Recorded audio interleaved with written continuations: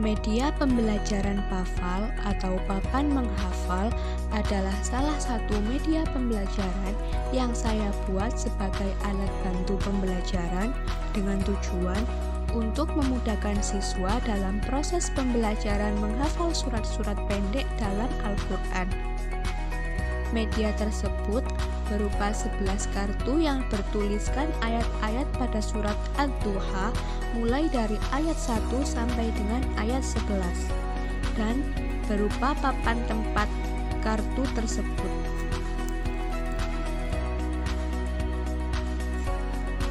Adapun cara pengaplikasian dari media pembelajaran PAFAL atau papan menghafal adalah disediakan 11 kartu yang bertuliskan ayat-ayat surat Ad-Duha mulai dari ayat 1 sampai dengan ayat 11.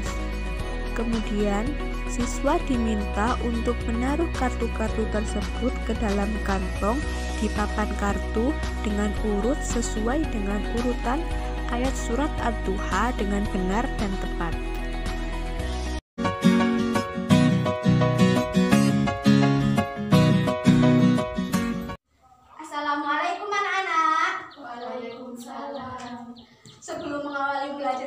Ini, alangkah baiknya kita membaca Bismillah terlebih dahulu, lalu dilanjutkan dengan baca doa belajar. Yuk, sama-sama. Bismillahirrahmanirrahim.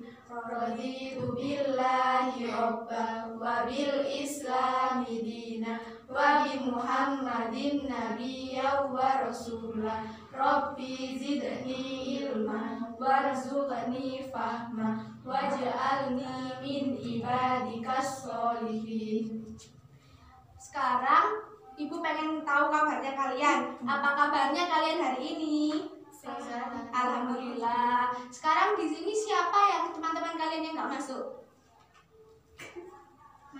Oh masuk semua. Alhamdulillah kalian sehat semua ya. Uh, sekarang hari ini kita akan mempelajari tentang surat Ad-Duha.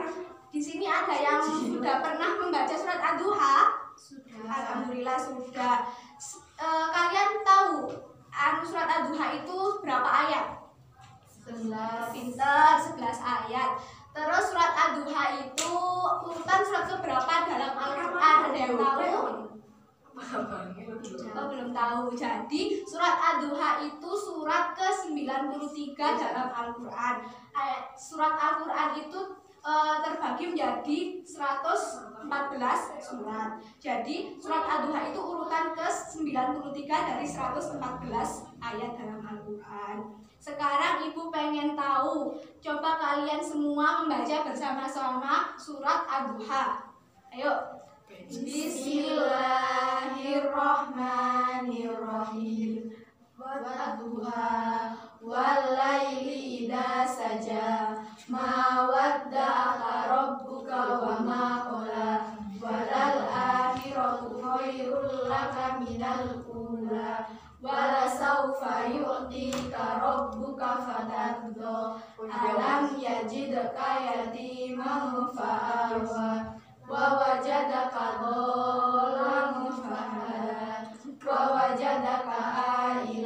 ailan fa'aghna fa'ammal yatima fala tanhar wa ammas sa'ila fala wa amma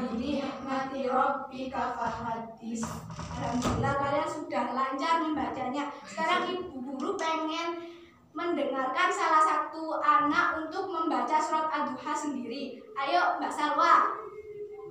Bismillahirrahmanirrahim Wadduha walaili idha saja Ma wadda'aka rabbuka wa ma qala Walal akhiratu khairul laka minal ula Wala sawfa yu'tika rabbuka fatardo Alam yajidka yatimam fa'awa Wa wajadaka dolam fada Wa wajadaka ailam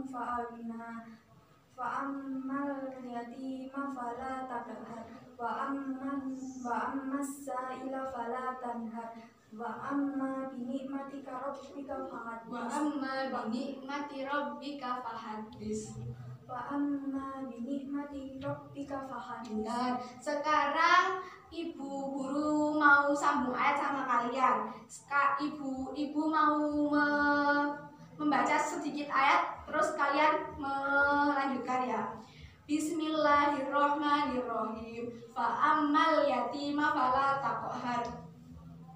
Neng, Wa amma sa'ila fala taqhar. lanjutkan. Wa amma bi ni'mati rabbika fahaddits. Terus ayat wa wajadaka dhallan fahada. Nadim. Fa amma bi ni'mati Wa wajadaka ailan fa amma ya Belum paham. Ayo neng lagi. Wa wajadaka dhallan fahada. wa wajadaka a'ilan fa'aghna fa amma al-yatima fala taqhar wa amma as-sa'ila fala tanhar wa amma bi ni'mati rabbika fahaddits. Alhamdulillah, sekarang udah pinter-pinter. Sekarang Bu Guru ada 11 kartu. Nanti kalian jodohkan 11 kartu ini di papan ini ya. Kalian kerja sama, nanti Ibu Guru tunjuk maju ke depan untuk membacakan surat ini. Ayo, kalian kerjakan bareng-bareng.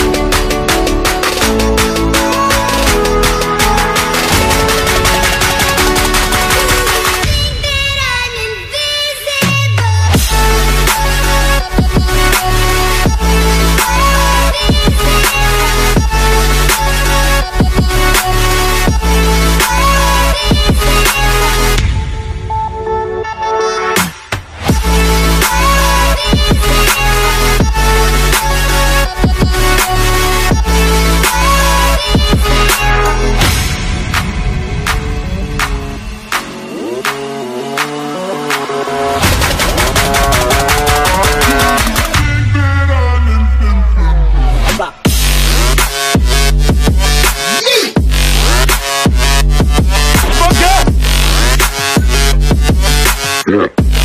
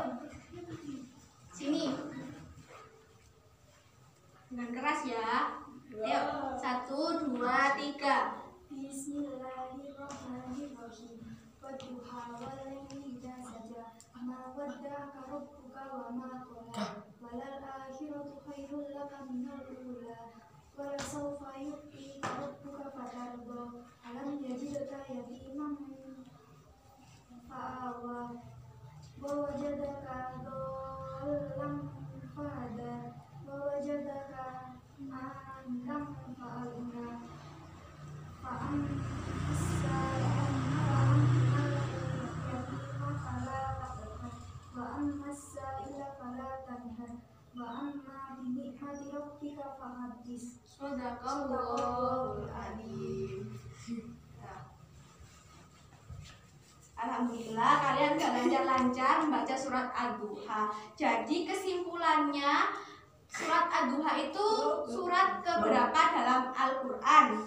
Eh, surat dalam Al-Qur'an jumlahnya berapa? 114. Hmm.